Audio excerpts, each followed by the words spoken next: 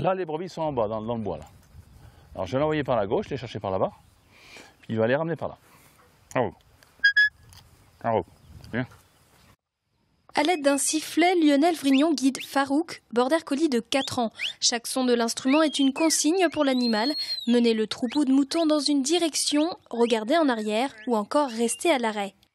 Trois ans de dressage ont été nécessaires pour le berger, qui élève depuis plusieurs années la race, réputée pour sa bonne aptitude au travail.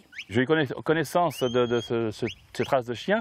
Parce qu'à l'origine, mes parents avaient donc des troupeaux, mais avaient des, comme on disait, des bâtards, des chiens, des chiens de ferme.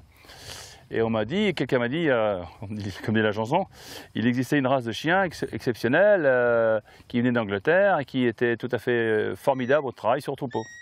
Retraité depuis deux ans, Lionel se consacre désormais à sa passion et participe régulièrement à des compétitions nationales et internationales. Il est également juge lors de concours. La discipline demande de la patience et de la rigueur. Chaque participant doit passer cinq épreuves. On a plusieurs épreuves, on en a cinq principales, c'est la recherche, l'amener, ensuite on a le triangle, c'est-à-dire le chien il pousse devant lui, en travers lui, puis il revient vers vous. Et ensuite on sépare des brebis, il y en a des brebis marquées, il doit les séparer, les trier, on, on- a une mise en parc. En France, ils sont une centaine de conducteurs de chiens de troupeau.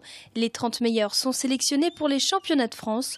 Prochain objectif de l'éleveur, réintégrer l'équipe de France. Avec Farouk, on va aller sûrement euh, près de Dijon, dans les Côtes d'Or, euh, cette année, au mois de septembre, championnat de France. Mais ensuite, moi, c'est l'année prochaine, dans, dans deux ans, d'intégrer euh, l'équipe de France. Ce week-end, plusieurs conducteurs de chiens de troupeau seront présents à son domicile pour un concours sélectif de la Coupe de France.